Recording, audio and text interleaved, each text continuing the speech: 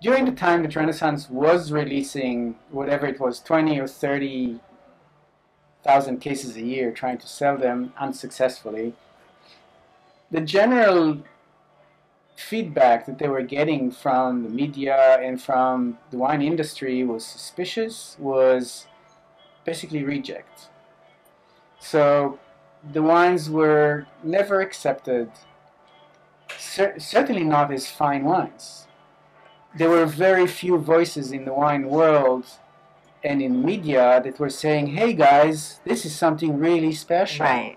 But there Like- were some. You did get some good press, and and those sort of in the know, like knew that these were really good wines. I would say that it was a very small Small. minority for decades.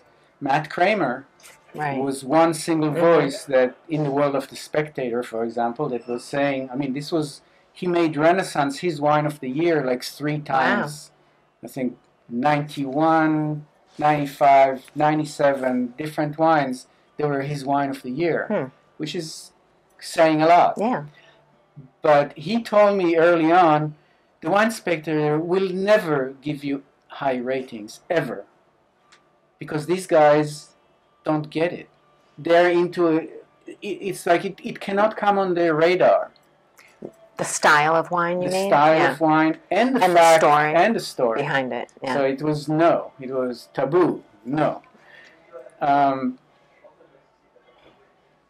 anyway that was and that characterizes the, the media response because yes occasionally there was an isolated article somewhere but it came and went and and left no trace now in the last five years you look online and you find massive pontificating and uh, poetry about the incredible value of Renaissance Cabernet Sauvignon and Mm. whatever. So now it's coming that yes, there is a cult following there of people that think that this is like no other California wine. Um, I don't know if it's like no other California wine, but you know, I, I had a, an extremely solid wine education. I don't remember if I dwelled on it earlier or not, and I taste wine like a consumer. I don't take any.